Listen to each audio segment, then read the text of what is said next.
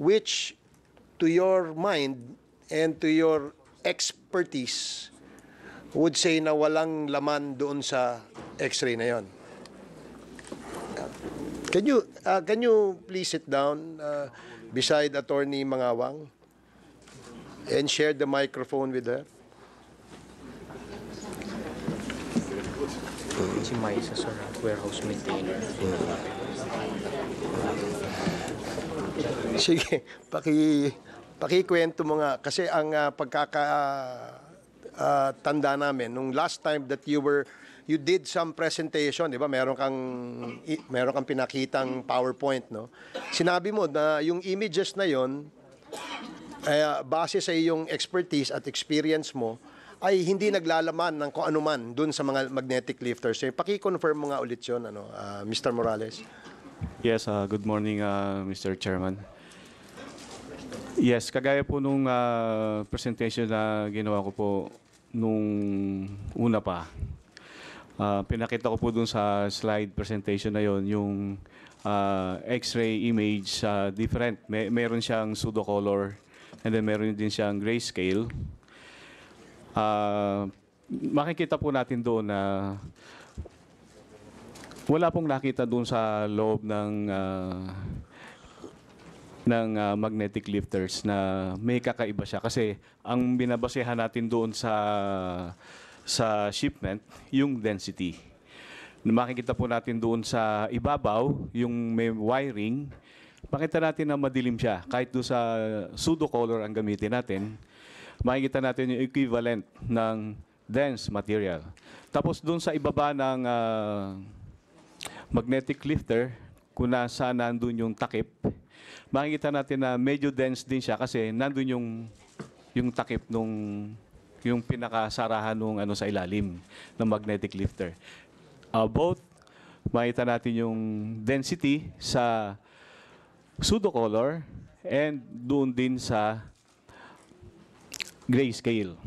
Tapos makikita po natin sa pagitan ng dalawa, meron pong light. Yung para siyang ano eh, hindi siya dense. Hindi siya dense. Ah, kasi may nakita natin ka yung paano yung dense, medyo dense, tapos yung containers dense. Tapos makikita natin na may equivalent density siya na parang hindi siya tumutugon dun sa naglalaman ng ng ah, na may laman yung loob. Kasi for example, sabi ko nga po, kung merong siyang laman na iba, for example, bigas. Yung bigas na yon, magre-register siya ng density.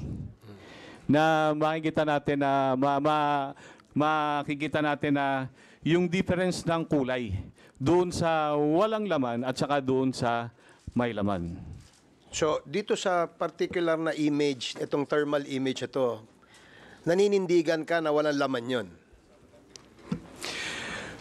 Your Honor, ka, kinausap ko po yung ah, X-ray inspector. Hindi, ah, ah, opo. ulitin ko lang, i-refrain ko lang yung, ah, i- ano ko lang yung tanong ko, no?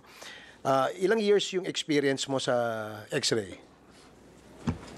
Sa X-ray po, sa small X-ray, 10 years.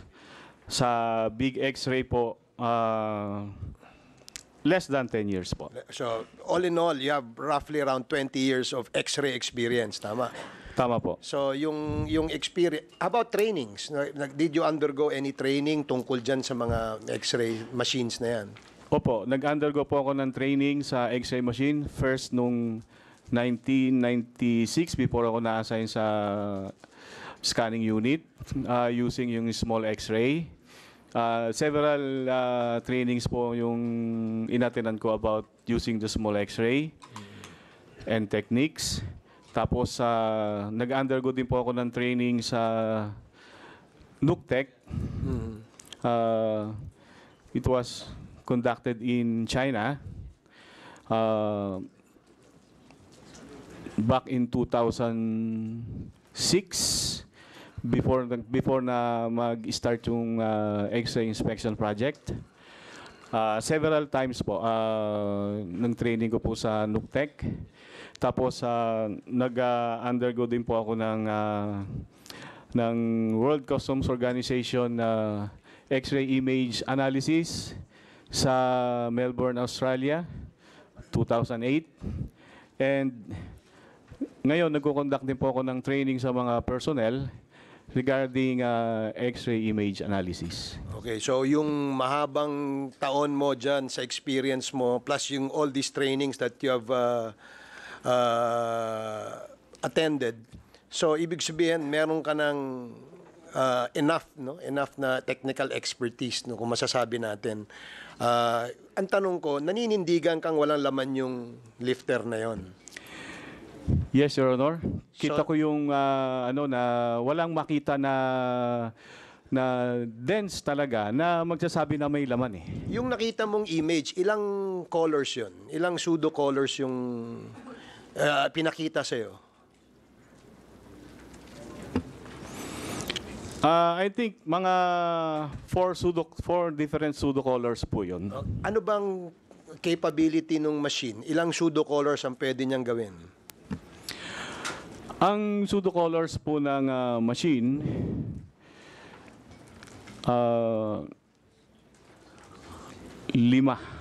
Yung machine na yan, ha, yung ginagamit natin ngayon, hanggang limang pseudo color yan. Opo, limang pseudo color and isang grayscale. Okay, so in this particular image na sinasabi mong walang laman, nagamit nila lahat ng pseudo color tsaka yung gray, uh, what, do you- what do you call that? Grayscale. O yung gray scale, nagamit nila yon? Ah, sa tingin ko po, ah, nira nila yung buo na yon kasi ah, nung ni-review yung ah, image, nung ni-review yung image, nung nalaman na may na x-ray na ganon, ah, sa tingin ko, nag, ah, nag-print sila ng different ah, images sa different pseudo colors. Sa tingin mo, so you're speculating na ginamit nila lahat ng pseudo color. Ah, kasi, Your Honor, ah, nung nalaman namin yon, nung ah, pumunta ako sa opisina noong August 13 kasi naka-assign ako sa Port of Batangas. ah, pagdating ko sa opisina, ah, merong nakita ko na yung ah, print out ng pseudo colors, naka-print out na. And ah, pina-analyze sa akin yon. And aside from that, pumunta rin ako sa MICP, Pumu- ah, umakit ako doon sa x-ray machine at nag-conduct din ako ng sarili kong analysis para mas Under malaman ko po. authority, talagang inauthorize ka ba ni commissioner na pumunta doon at to analyze yung image na yun? Or on your own volition, pumunta ka lang doon, inanalyze mo? Sinabi ko po sa head po ng head ko po ng x-ray na pupunta po ako sa MIP. Oh, hindi, pero kamo, nasa Port of Batangas ka na, di ba? Opo. Opo. So what is your business in the X-ray division? Did, did, did the head of the X-ray ask you to come from Batangas to Opo, kasi ako po ang ah, dating field officer nung MICP nung na x-ray po yan. Kasi ah, that was my last week. Kasi meron na pong Ah, ah, so, order. Nasa X-ray ka pa nung dumating yung container Opo, na yan, opo, al- opo. na merong apat na magnetic lifters. Opo. So, you were part of the X-ray department, tama ba? Yes.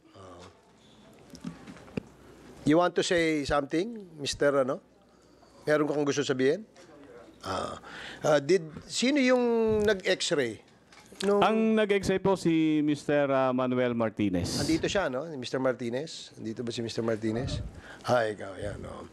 Sige, mamaya, babalikan ka rin ulit namin. So, base or naninindigan ka na yung nakita mong image na in-x-ray yung container na yan, which contains four magnetic lifters, does not contain anything in that hollow portion of that lifter. Tama ba ako? Tama po, kasi binabasehan ko yung binigay ng image ng x-ray machine. Okay, sige. Very exciting kasi to. Then in the past several days, no, may mga developments no na lumabas. Uh, uh, attorney Mangawang no was uh, heard over the radio and as was seen on TV uh, doing interviews no uh, tungkol dun sa kanyang pananaw naman dun sa images no at uh, dun sa kanyang mga statements, it seems that um, magkasalungat yung inyong opinion ni ano and we'd like to ask uh, attorney Mangawang to kindly educate us with your findings and your analysis on that particular image. The same image na tinitingnan din ni Mr. Morales. Uh, give us muna your uh, expertise, your credentials, so that we would more or less have an idea. Good morning uh, to the co-chair, to co-chairman, and good morning, my former boss, Congressman Biason, and Congressman Akop, and wala akong pangalan. Si- Congressman. Waminal. Guaminal. Uh, Your Honor, if uh, you, you would allow me, I have a PowerPoint presentation which would clearly explain these uh, X-ray images. How if I many- will be allowed, Ma- mahaba ba yan? Ano, Uh, attorney? it's about 15 to 20 minutes or even shorter. I- I can make it faster and skips that. But Uh, okay, we this, will- it, we- it can be ex- only explained to a uh, thoroughly, very well through my PowerPoint presentation, Your Honor. Okay, uh, sige, please. Uh, please make it uh, quick, ha? Yeah. Your Honor, I have a, uh, I gave, asa na yung, I- gave the, my flash drive to the Secretariat. Secretariat? Binigay ko dun sa girl. Okay, we'd like to ask, uh, because uh, apparently, Attorney Mangawang, in the uh, past several days, have been coming out on media as to her own uh, analysis of the said image, no, na medyo, gaya nga no, sabi ko kanina, salungat dun sa sinasabi ng uh, X-ray department ng BOC. Uh, Your Honor, meron ho ba kayong ano, ah, yung power, ano yung laser point pointer? If this, meron ho bang may laser pointer dyan? anyone here have a... Or lalapit na lang Laser ako pointer? doon. ho. Masyadong malayo ho. Wala ba kayo dyan? Wala kayo laser pointer. Ay, Mr. Co-Chair, Yes, uh, Mr. Chairman. while our staff are preparing the facilities for that PowerPoint presentation of Attorney Mangawang, may I ask few questions before she will testify? Uh, yes, uh, Mr. Chairman. You are recognized. Attorney Mangawang, currently you are an official of the Bureau of Customs. Am I right? yes, sir. Yes, Your Honor. And what's your current position? I am right now the Deputy Collector for Passenger Service at the NAIA Collection District. Okay. What prompted you to come to the media and made your comment or your position on the matter uh, when your current position is not in relation to the subject in issue? Your Honor, I was invited. I received a subpoena uh, from the Senate Blue Ribbon Committee. And from there, after I made my presentation, the following day, I was, uh, my presentation was in the headline. And in fact, uh, in fact, Senator Gordon made a comment, and it was also in the media, that I made a very impressive, impressive presentation. Uh, I'd like to make it clear that I did not conduct a press conference. It was the media who sought me, and I am not part of any concerted effort no, or any syndicate uh, uh, which is now on the process of having a demolition job against Commissioner La Peña. On the other hand, ako ho ang victim ng kanyang demolition job na napakabastos. Point of order, Mr. Chair. I Mr. think that Chair. is not Uh, Mr. Chairman, Sorry if po, I I may, take no, it if back. I may, Point of order. uh, Yes, uh, Congressman Akop, there is a point of order. What is the point of order? Mr. Chair, uh, I think uh, before the uh, resource person, Attorney Mangawang, uh, asked for that he that she be allowed to present, you asked for the competence Yes. of uh, Attorney Mangawang, and he she has not still answered your query, Mr. And Your Honor, it's part of my uh, presentation. I will show you the. I will show. Uh, wait, I also asked the Secretariat to distribute I am my not executive finished profile. the Attorney Mangawang. Opo, sir. Before you speak, you asked. I apologize, Your Honor. That's the rules of the Opo. of this house. Before you speak, you ask permission from the chair. Opo, sir. I Mr. Chair. Uh, if the presentation will present her competence uh, insofar as X-ray is concerned, I think uh, when you ask that question, he should, she should answer it first. Yes, uh, yes. Uh, as a matter of fact, the first questions asked by uh, the Honorable Ominal would have established her competence. But, you know, uh, she has uh, got into a direction which is not already uh, connected with her competence, Mr. Chair. So that is my point of order. Sige. Okay. The point of order of Congressman Acop is noted. Uh, and uh, may I ask uh, Attorney Mangawang to answer directly the question propounded earlier? Yes, Mr. Chairman. I was head of the X-ray inspection project from December 2007 until January 2013. And among my, well, I, I submitted a, my executive profile, but among the trainings which I attended, which are related to X-ray operations known and radiation safety are the following. I was the part, participant of the International Seaport Interdiction Training Program, which was conducted by the U.S. Customs and Border Protection, and that was in December 10 to uh, 14, 2007. In that training, it was uh, it was explained how contrabands are concealed. No, that is very important when you handle uh, X-ray image analysis. And I was a participant in the image X-ray image analysis workshop conducted. This is the first X-ray image analysis workshop conducted by the World Customs Organization and the Australian Customs Service, sponsored by the Japan by the Japan Cooperation Agency in Melbourne, Australia, from March 3 to 7 in 2008.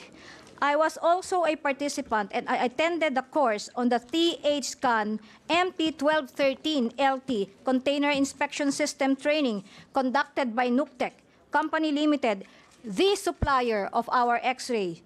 And that training was conducted in Beijing in the People's Republic of China on August 4 to 14, 2008. And I was a participant of the 12th International Congress of International Radiation Protection Association. And this membership to, of, uh, in this is by invitation. And that was in Buenos Aires, Argentina on October 6 to 10, 2008. 2008. I was also a participant and a presenter on the World Customs Organization Asia Pacific Regional Workshop on Non-Intrusive Inspection Image Analysis in Kuala Lumpur, Malaysia from March 5 to 8, 2012. And I also attended the World Technology Forum in Kuala Lumpur where all the X-ray machines um, uh, suppliers were there and they explained the capabilities of their x-rays and other gadgets other equipment which the customs no a- any customs administration in the world may use and that was in malaysia on march 9 2012 i was a resource speaker of the Seaport Security Asia in 2012 when my commissioner was Commissioner Biason. And this was the Conference on Combating Maritime Threats, Improving Coordination and Cooperation, Secu- Cooperation Security Supply Chain, and Utilizing Cutting-Edge Technology. And that's what I made a presentation on our X-ray um, procedures. And that was in Singapore from March 27 to 28 in 2012.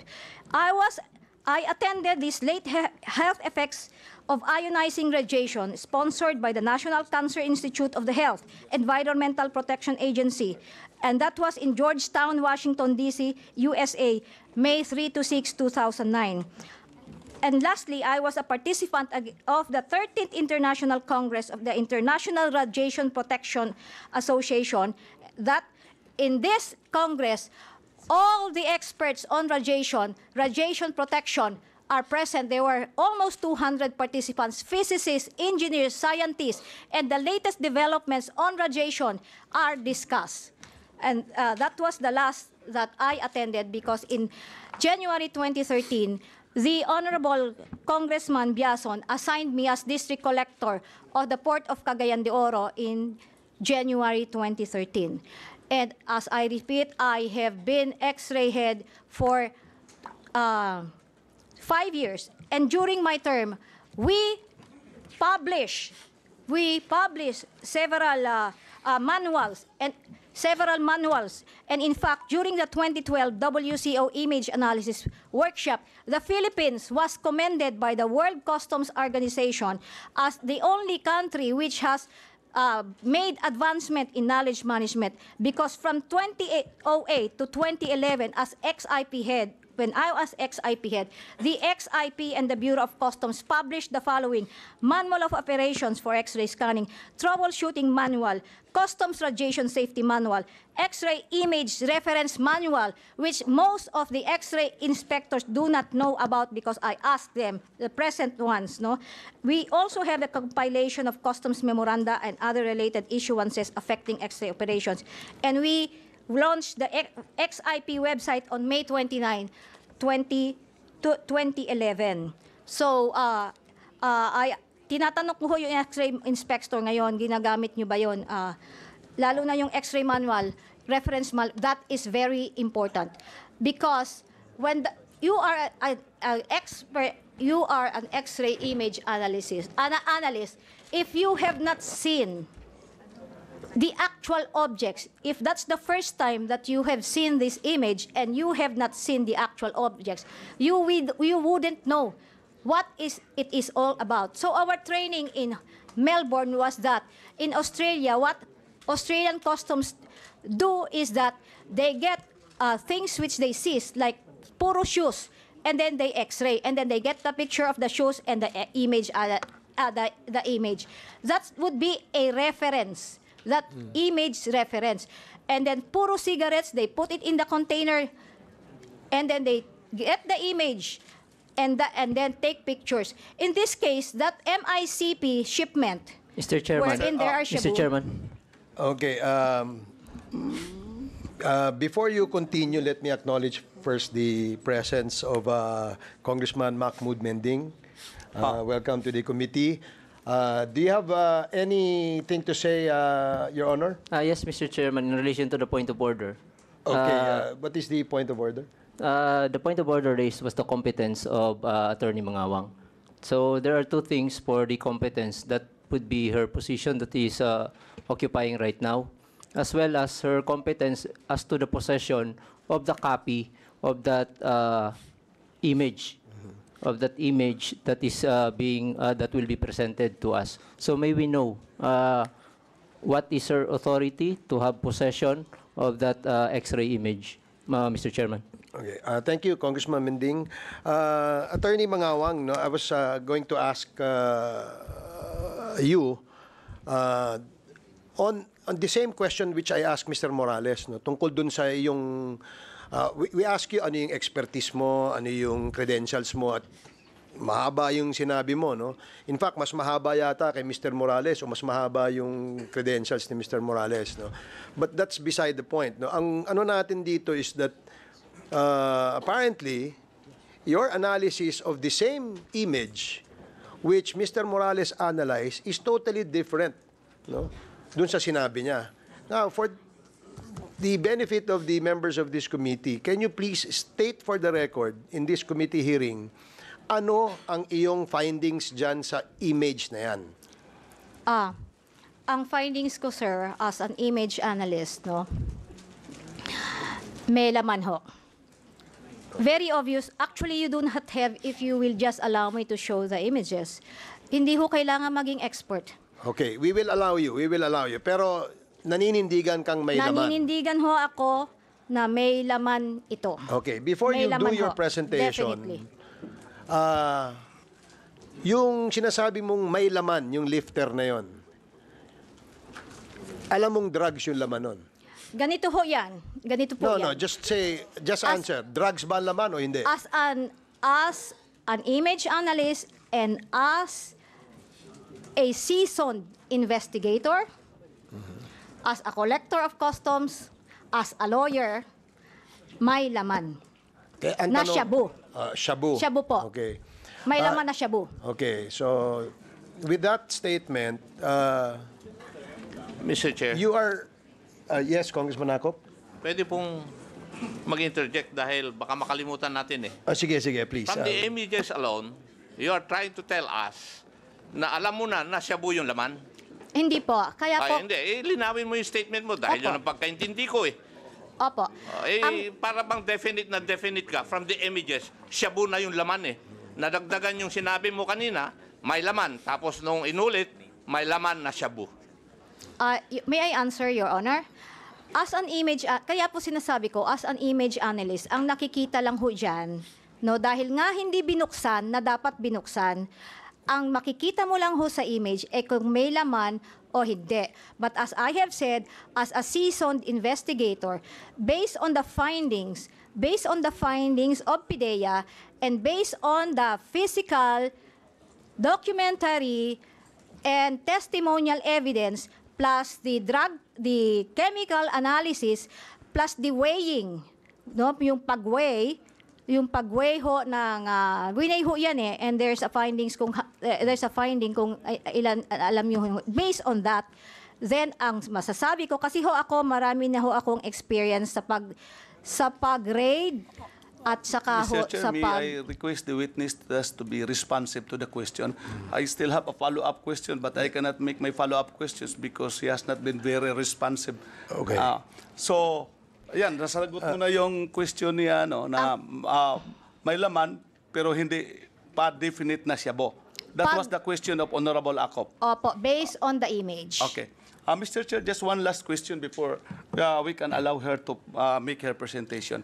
With those informations and knowledge that you just had stated in the committee hearing in the Senate and that uh, that you uh, presented in the media, uh, being a custom official under a, a, a head of office, did you clear it with your commissioner when you were in, uh, invited to appear before the Senate that you will be testifying on such particular subject matter and that you will be uh, uh, attending to an interview also on the same subject matter, considering that you have uh, chief of office as a matter of protocol in the government service?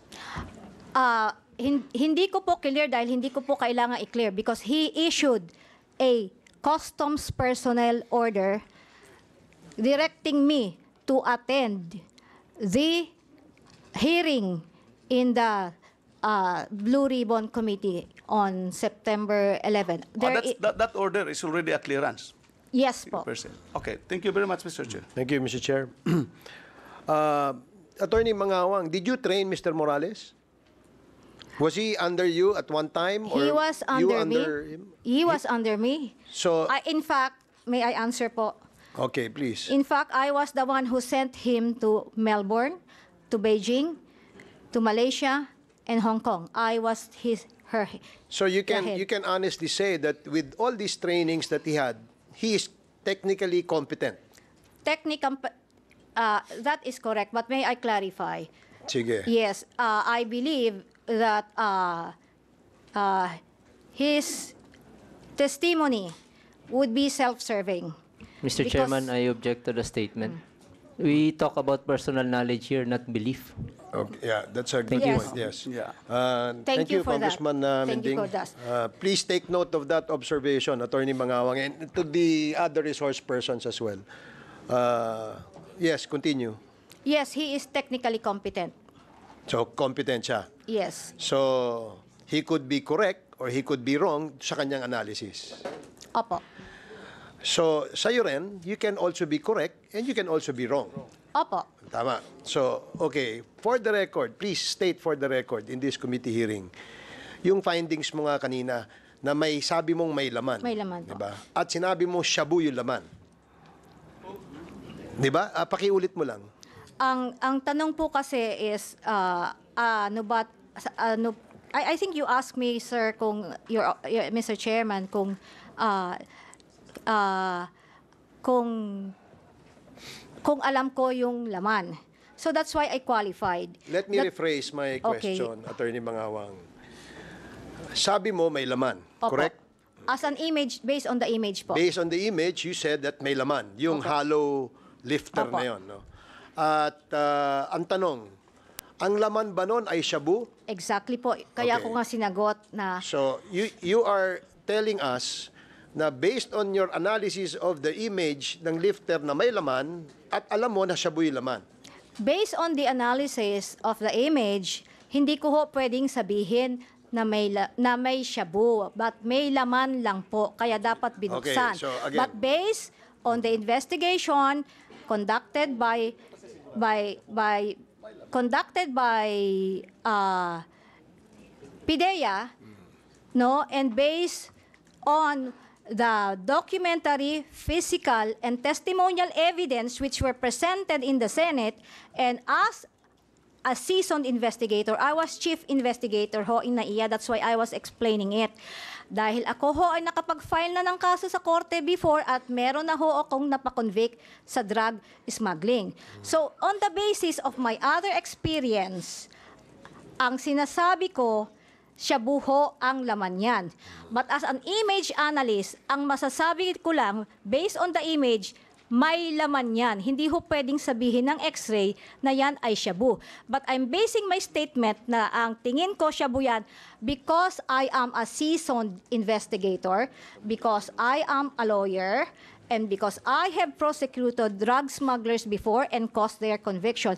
And based on all these experience, experiences, I am saying, and the findings of PIDEA, and yung mga recent findings pa, yung, ah, yung laboratory analysis, yung pag, ah, ano pa ba yung latest, yung the, the, the market is flooded, the market No, is ah, flooded. ah, yes, ah, so Attorney I would say shabu po yon. Ah, excuse me ah. Ah, hindi ka naman pideya, di ba? Hindi po ako PIDEA. Oh, so, okay. Kaya nga ang tanong namin sa'yo, yung bang image at yung analysis, masasabi mo may laman. Sinagot mo naman. no? Opo. Sabi mo may laman yan. Opo. Pero, meron kang categorical uh, answer dun sa tanong namin kung shabu ba yan o hindi. Sabi mo, posibleng shabu. Hindi po, hindi po posible. Sure po ako na shabu. Sure kang shabu. Kasi Opo. nga, ang basihan mo, ang basis mo was the investigation being done by PIDEA. Tama? No, the the testimonies in the Senate. Because in the Senate, Can you can you Oo, please testimony. uh, yeah, can you please tell us sinong kaninong testimony 'yon? Kasi baka hindi kami na hindi namin napanood yung testimony 'yon. Sino nag-issue ng testimony 'yon? ah meron ho doong bodegero. Si- Who- do who you remember the testified? name? I forgot the name of the, I'm not very good at remembering names, but you can check on the uh, stenographic notes po, no? Okay. Transcript. The bod- bodegero was asked, no, and I also watched the previous, the, the, the videos, and the bodegero testified, the bodegero and the owners, even the owners testified that on July, f- uh, July 14 or 15, I cannot remember the exact dates, may dumating po doon na mga Mr. Mr. Chair, may I interrupt the uh, resource speaker? Uh, okay, uh, excuse me, attorney. Yeah. Yes, uh, Mr. Chair. On that basis of her answer, that she said that it is Siabo on the basis of an testimony in the Senate which she cannot even recall who is the one uh, giving that testimony, and I don't think so we can take cognizance or jurisdiction on that matter. And another thing, she said based on investigation, ang tanong ko, nag-conduct ba siya ng investigation on this matter? Kasi sa tinanong mo, hindi naman siya PDEA, so it's only PDEA that conducts investigation on this matter. She is with the custom.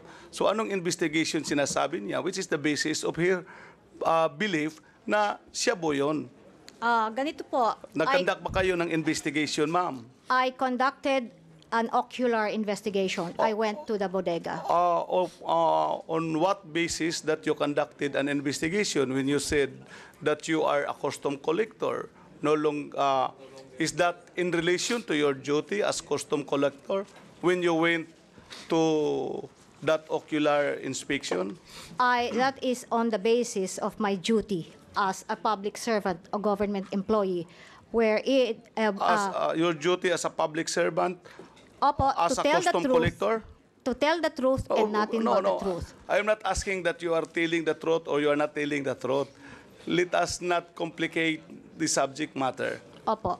You were saying that you are of the belief that that is Siabo being with your experience because of an investigation and that of the testimony in the Senate. We said that we cannot take cognizance of that testimony in the Senate, especially so that you were not able to recall the person making that testimony. And so, on the other hand, you said based on an investigation, we asked you whether you conducted an investigation. You said you made an ocular inspection, and then please answer under what authority why you conducted an ocular investigation when it is not related to your duty as custom collector because uh, after that probably uh, answer then we can ask your commissioner whether he has authorized you for such particular investigation Ah, ganito po ho, po yun. I was given a subpoena and ah, I was asked to be a resource person as an expert witness on X-ray. Ang sinasabi ko nga ho po, no, sa training ko sa Australia, Ma- Madam, that is not the issue. Okay na yan. Naintindihan na namin yung expertise mo, yung trainings mo. So, ang tanong ko, you said you conducted an ocular investigation. Under what authority or what was your basis in conducting such investigation? Ang basis ko nga po eh para ma-explain ko ng husto po kung ano ang laman ng image. Kasi po sa training nga namin, malalaman mo talaga kung ano ang laman ng image kung titingnan mo yung actual, mag-ocular inspection ka. Kasi first okay. time po may You image mean sa you customs conducted nyo. an ocular investigation prior to your appearance in the Senate to Yes make po. uh, to serve as your basis? Yes, for Okay. my presentation. And me, I asked the commissioner whether such action of your uh, official was authorized by you in uh, or cleared by you in conducting an investigation on a very issue which has already been um, in controversy or has been uh, the subject of the congressional inquiry. I did not uh, authorize him, Your Honor, uh, her, Your Honor. O- Okay. Mr. Chair, with the indulgence of the Honorable Ominal, before we leave the topic, Okay. Yes, uh, Congressman Akop. yes, ah, palagi nyo pong sinasabi, abogado po kayo. Palagi nyo rin sinasabi, investigador kayo. For the whole years of my life, naging investigador ako eh. PCINP at saka pulis. Ngayon, nag-iimbestiga ako in aid of legislation. Abogado rin po ako.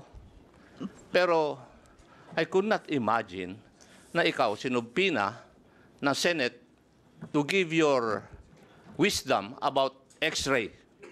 Tapos ikaw, pupunta ka dun sa 13 Martires para mag-imbestiga. When you know pretty well as a, as a lawyer, na ang titignan mo lang, ite-testify mo dun sa Senate, ay kung ano ang isip mo tungkol dun sa images. You will not be asked questions whether ah, sa tingin mo ba eh, may shabu doon? No. I don't think so. May Ginagawa mo lang yon doon sa tanong ni Honorable Ominal, what was your authority to do such? When in fact, the expertise that is needed by the Senate then was your expertise on x-rays, not on investigations. Thank you, Mr. Chair. May, may I respond? Thank you, uh, Congressman Akop. Yes, uh, you may answer the question. Ah, sa training nga po namin, si, kung hindi mo pa nakikita yung actual na goods, na, na bagay, eh hindi mo alam kung ano yon. So, looking at the image, para malaman mo ano ba ang dark portion na yon, kailangan makita mo yon actual na goods. That's why I went to Mr. Chair. to With- Mr. Chair, ano po yung goods ang makikita? Alam naman natin lahat na wala na eh. Di ba? Noong na-publish yan, wala na, butas na. Wala na nga. Even the President said, there is no evidence, there is no body of the crime. Alam mo yun, being a lawyer. Wala kang makikita ron. Ewan ko. May I respond to that, your, ch- Mr. Chairman? please, Yeah.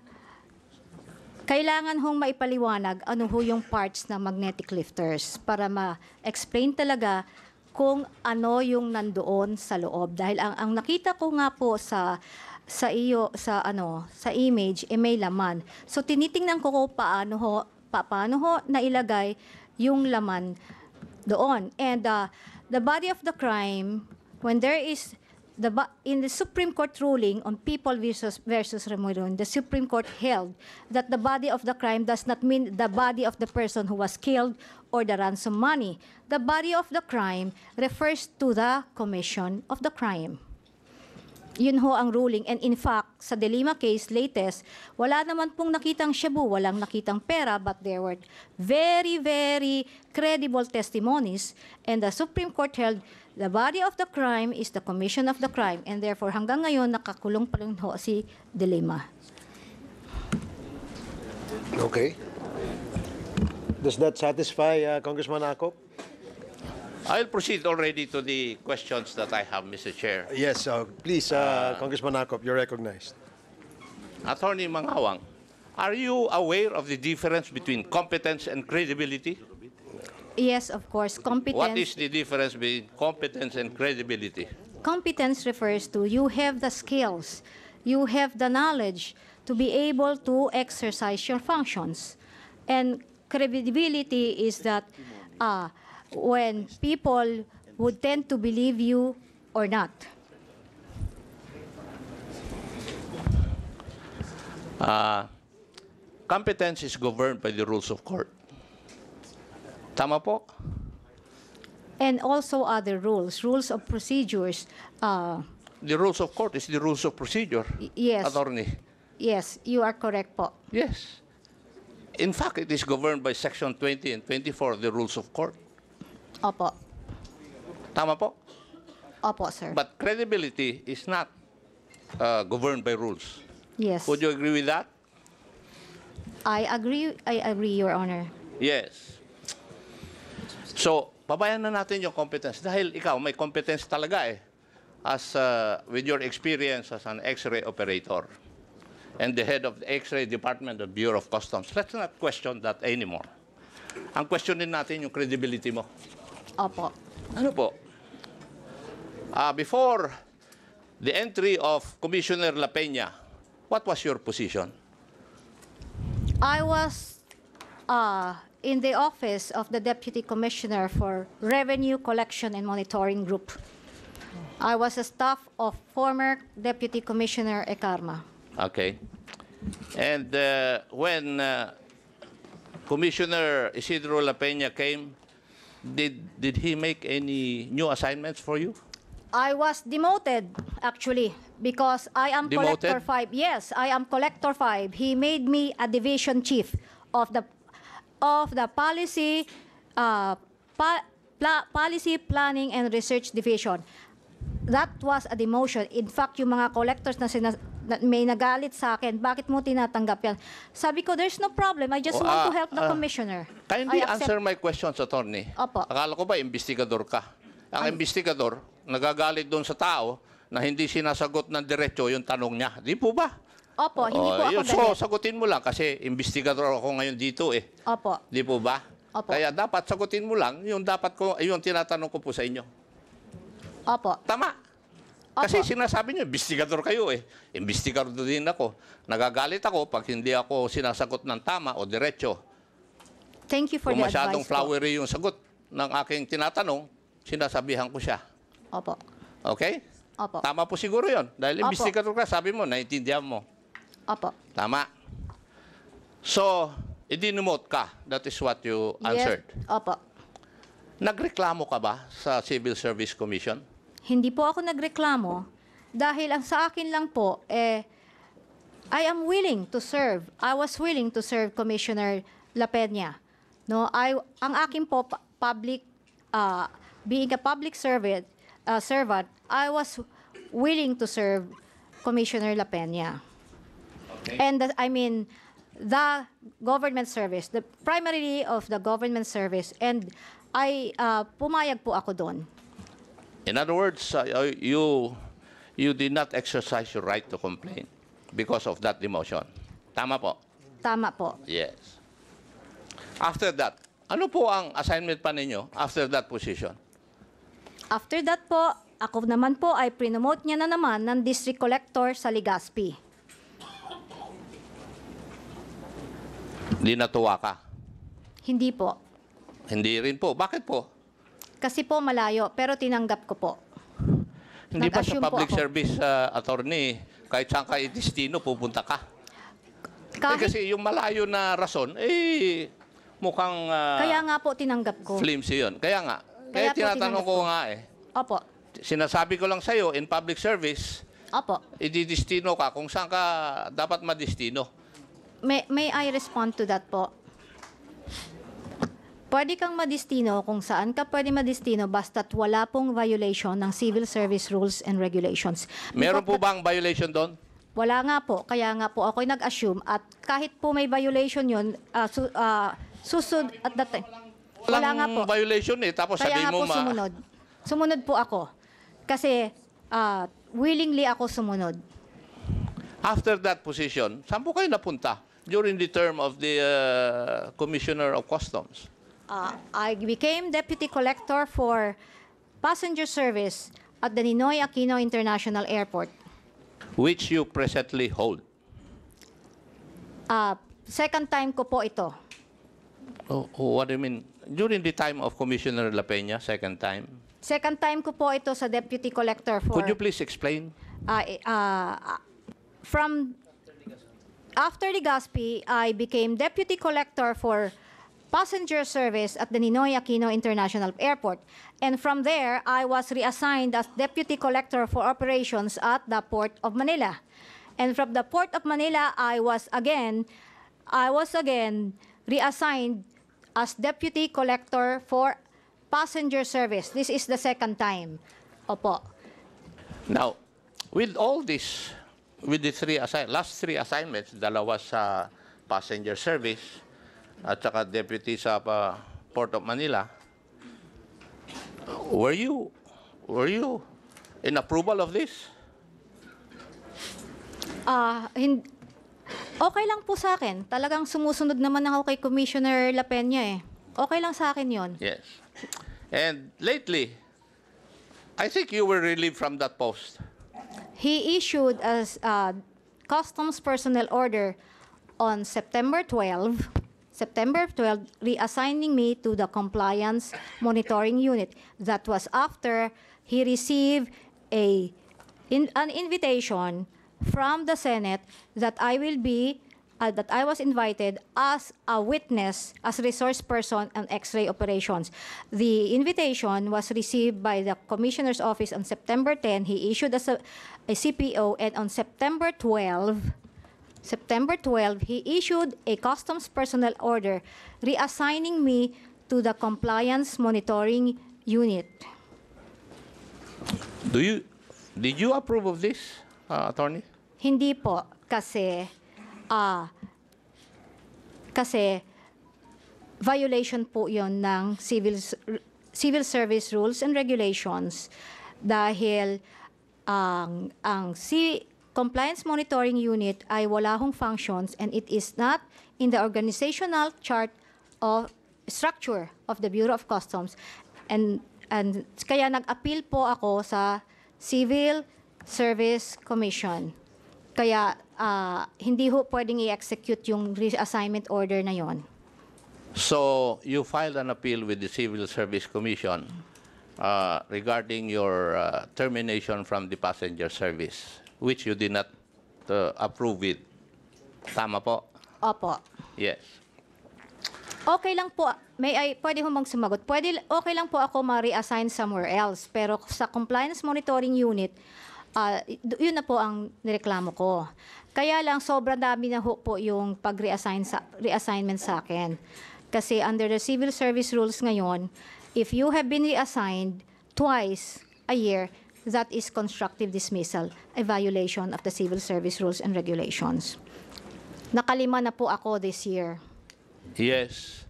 And because of these reassignments, which uh, most of which you did not uh, uh, approve with, nagalit ka kay Commissioner La Peña. Kaya sinabi mo, uh, para bang personal na. Hindi po ho ang yun may I respond to that your honor? Hindi po yun ang reason na sinasabi kong personal. Ang personal ho yung mga demolition job sa akin na below the belt. Yun ho ang personal. Ah, hindi Pero po- yung reassignment I just appealed it because it is my right. I agree with that. Pero doon sa mga reassignments na ginawa sa iyo, ah, halata naman na hindi ka masaya eh. Ah, nagkaroon ka ng ng ah, ng ill will with what Commissioner La Peña ah, has been doing to you. Hi- hindi po yan totoo. Definitely. I hindi po kayo nagagalit? Hindi ako nagalit yung sa mga reassignments. Doon lang po nung ni-reassign ako sa CMU, CMU. Tuwang-tuwa po ako, in, tuwang-tuwa po ako nang ako ay nilipat kahit dinemote ako sa deputy lang sa, sa naiya. Kasi po ayoko na napapagod na po akong magbiyahe at wala ho akong kamag-anak sa Legazpi. Wala ho akong mga kakilala doon. So, nung nilipat niya ako sa NAIA, tuwang-tuwa ako, nagpasalamat ako sa kanya. Tapos, yung nilipat niya ako sa Port of Manila, eh lalo naman po akong tuwang-tuwa. Kasi marami ho akong committee membership dahil po ako ay nagda-draft ng mga rules and regulations ng CMTA. Tuwang-tuwa po ako. Nung nilagay po ako sa NAIA ulit, wala hong problema, okay lang yun sa akin, no? Tinanggap ko pa rin ho yun. Doon na lang ho po ako, umamalma, daw nilagay niya ako sa Compliance Monitoring Unit dahil yun ay violation ng Civil Service Rules and Regulations. So, mali ho ang sabihin na may ill will ako. Gawa-gawa, guni-guni lang ho nila yan. Hindi. Hindi ko po sinasabi yun. Tinatanong ko nga po kayo eh. Ah, umalma ka lang nung ikaw ay ini-assign sa Opo. Compliance Monitoring Unit. Okay? Ah, hindi ka nagalit dahil doon. Eh, dahil yung kong umalma nagalit- eh yung umalma eh Opo. kwan masyado yun eh. Kung sasabihin na galit, hindi pa po ako nagalit at that point. Hindi lang ako masaya. Hin- hindi po ako galit at that point, pero hindi ako masaya na ilagay niya ako doon. Kaya I went to the civil service. So, ang point doon is, before you would become angry, yun ang position mo. Kasi, malapit, ah, ah, hindi po ako nagalit, pero hindi ako masaya eh. Opo. Tama? I cannot Okay. answer na tama kasi may sinabi kayong bago ako nagalit. So ina-assume niyo ho na nagalit ako. I am not, ah, ang sasabihin ko nga, it, Hindi ko po ina-assume na nagalit kayo. Meron pa kayong- Tinatanong ko nga po kayo na ang punto ninyo is, before kayo magalit, yun ang pwesto ninyo. Tama, kasi hindi ka masaya eh. iba ho yung hindi masaya, iba yung galit. Magkaiba po yun. Alam ko. Opo, thank Kahit you. ka- taga-Cordilleran ako, naintindihan ko naman ang Tagalog eh. Di po ba? Eh, Ang masasabi ko po, hindi ako masaya Yes, na hindi ako ka ay nilagay masaya. doon dahil Okay. violation ng Civil Now, Service Rules and Regulations. Yung bang order na ma-assign ka sa Compliance Monitoring Unit eh, before, ginawa po yun before your appearance sa Senate? Ang order po, Hindi, sagutin mo muna ako. Eh, ang order po, eh, tinatanong ko sa iyo, alin ang nauna? Yung order na malipat ka sa, sa Compliance Monitoring Unit o yung pag-appear mo sa Senate? ang pa, nauna po ang order. Pero meron na akong invitation ng September 10. So, maliwanag na maliwanag po na ako ay mag-a-appear sa Senate. Dahil in-invite na ako September 10. Maliwanag po yun na ako'y a-appear sa Senate. Ang order po, reassigning me was issued after the invitation. September 12 po ang Customs Personnel Order na pinirmahan ni Commissioner. So, nauna yung pag-invite sa akin sa Senate at alam na alam na niya na ako ay mag testify sa Senate. At alam din niya po na ang testimony ko ay yung katotohanan lang at salungat sa kanyang posisyon. Ah. Ah. Are you aware, uh, ano po yung rules of credibility in so far as the Supreme Court is concerned?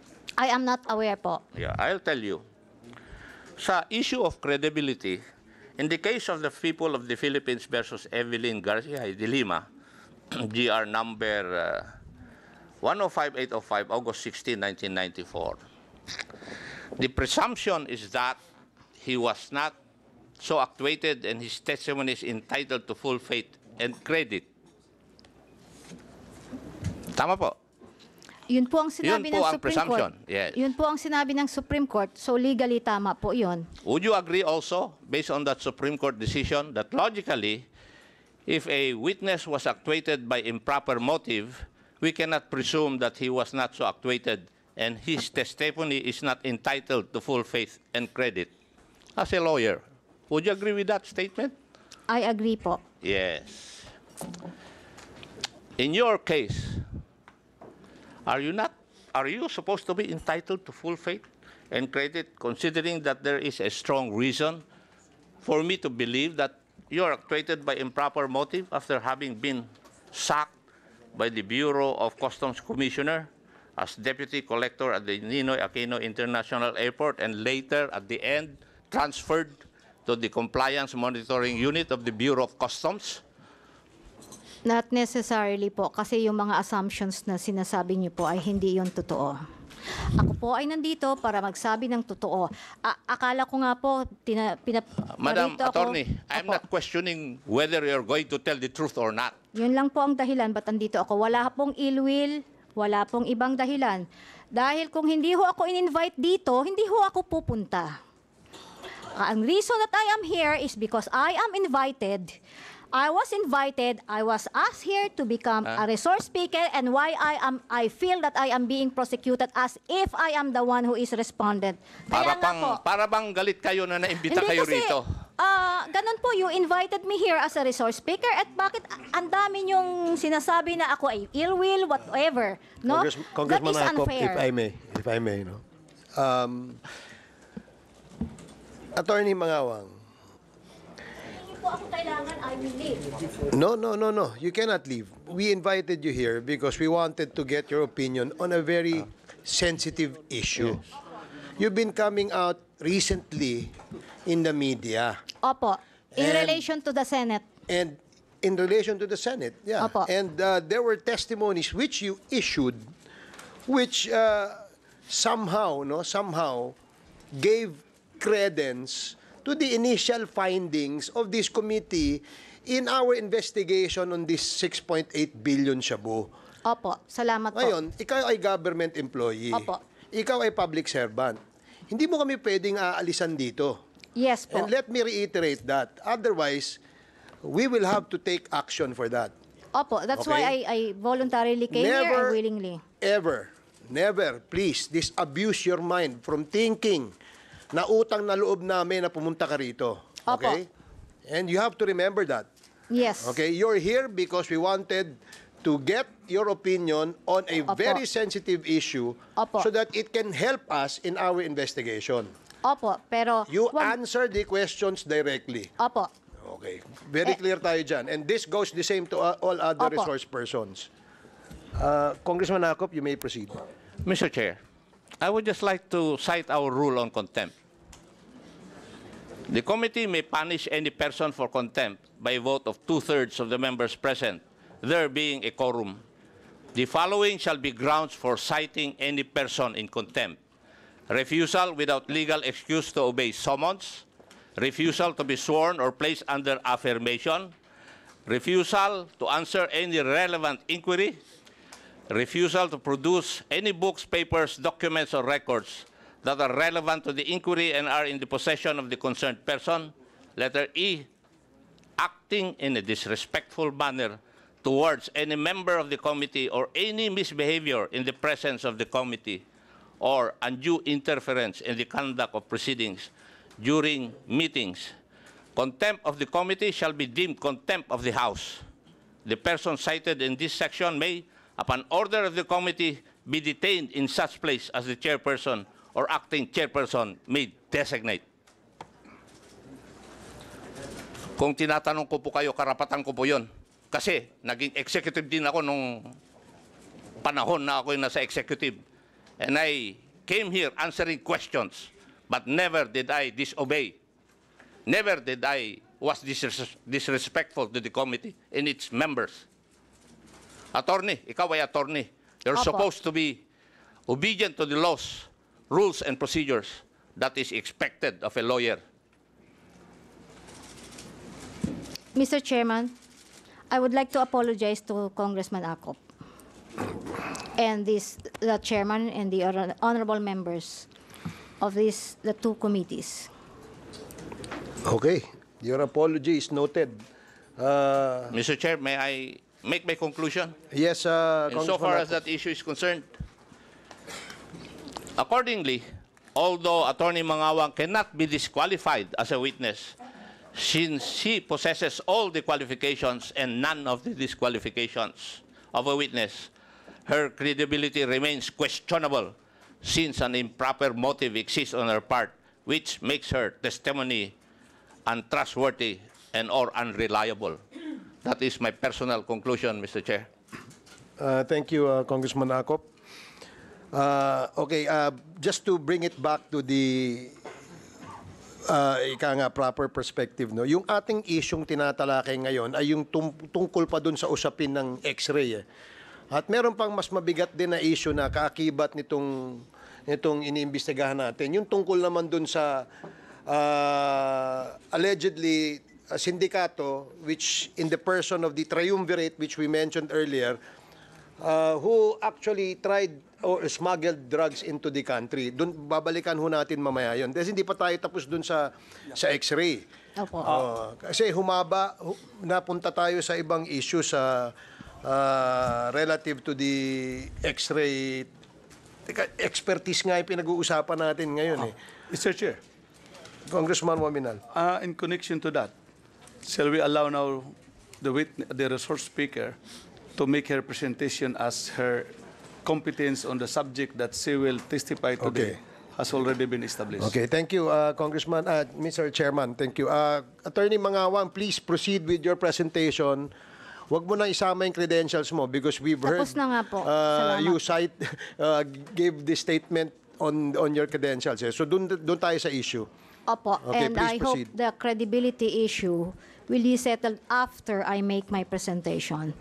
Because malalaman naman po ninyo kung objective yung Yes, presentation. we will. We will. The committee is very objective in uh, analyzing as well testimonies uh, being done by the resource persons. So please proceed. Um, can you, ano, yung PowerPoint presentation, yung title na, ano, X-rays, BOC X-ray scanners and magnetic lifters, ah, marami bang laman yon? Yung questions ko regarding this confidential memo na nga binanggit mo. oo nga pala, no? Oo nga Oh, six. Ayos mag-present. Later na. Thank you, thank you.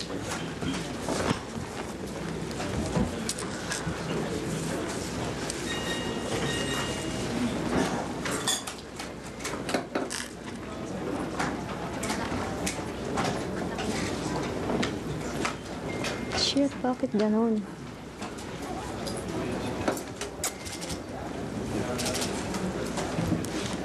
Magnetic lifters ang title.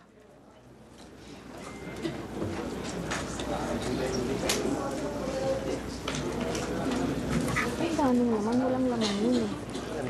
Palagay ko nili- nilipat nila sa kanilang ano. Basta yung angkop na yan, kala niya tatakot ako. Di content nila ako. Tingnan ko ang backlash. Ah, that's not the one.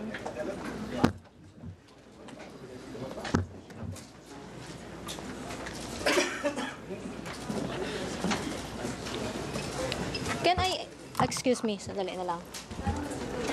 Ah, excuse me po, Mr. Chairman. Sige, go.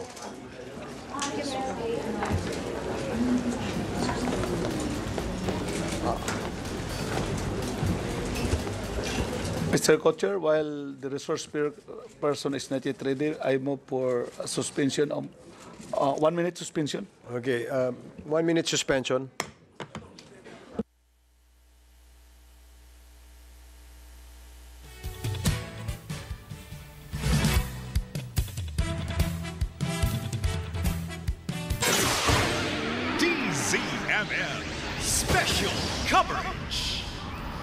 Balikan natin ang Kongreso. Naroon si Radyo Patrol 48, Zandro Ochona. Oo, medyo naging ah, mainit nga yung ah, palitan kanina, Ate B, ng ah, palitan ng uh, kuro-kuro nitong si uh, Antipolo Representative Romeo Acop at si Attorney Lourdes Mangawang. At ah, kanina, eh, na-question din ano, yung ah, kanyang ah, kakayanan na isagawa nga yung ah, hindi kasi ganun kalinaw no, kung ano yung ah, partisipasyon nitong si Attorney Mangawang doon sa mismong ah, investigasyon na isasagawa ng in- internal investigation ng Bureau of Customs at ah, kasabay niyan yung isasagawa ng mga investigasyon ng ah, Senado at ah, ng ah, Kamara. Ipinunto kanina ni ah, Congressman Akpo na paanong nagsagawa ng ah, sariling investigasyon itong si Mangawang. Gayong na hindi naman pala ito pinapayagan ni ah, Customs Commissioner Isidro La Peña na magsagawa ng investigasyon dahil nga ay ah, hindi naman na direktang involved yung kanyang hinahawakang posisyon doon nga sa mga nadiskubring magnetic lifters sa MICP at sa 13 Martires. At ang ah, pero sa, sa kabila niya, nanindigan pa rin kanina itong si Atty. Mangawang na may lamang na shabu yung ah, nakapasok na magnetic lifters na natagpuan sa 13 Martires. Kung at babalikan lang natin kung ating matatandaan, nung uh, nadiskubre itong ah, magnetic lifter sa 13 Martires, eh ito'y wala ng laman. Nabuksan na ito. Kung kaya nagkaroon ng ah, debate, ano, hindi, hindi malinaw ang ah, ang ah, pinupunto ng ah, ng ah, PIDEA eh meron itong lamang shabu pero ang ah, kung, kung ang customs naman ang tatanungin eh talungat ano ang kanilang paniniwala eh wala itong lamang ah, illegal na droga. Kanina humarap din itong si ah, Ginoong John Mar Morales ng ah, Bureau of Customs X-ray ah, Implementation na Program. At ang sa kanya namang ah, punto, eh, nanindigan din siya na walang lamang ah, shabu itong mga mga natagpuang magnetic lifters. Taliwas naman yan nga doon sa mga inihahayag ni Mangawang sa mga kagawad ng media nitong mga nakalipas na araw. Uh, sa ngayon, eh, pansamantalang sinuspindi ito nga uh, pagdinig. Siguro maya-maya at hindi ako yung magbabalik dahil nga habang inaayos yung uh, PowerPoint presentation nitong si Mangawang. So yan muna ang sitwasyon mula dito sa Kamara. Itong Radyo Patrol 48, Zandro Ochona, ABS-CBN News, BTMM.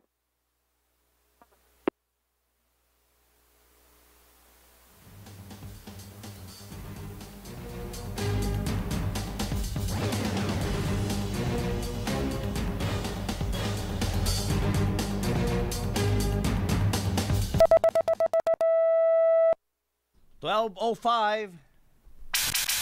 Radyo Patron, Balita, Balita.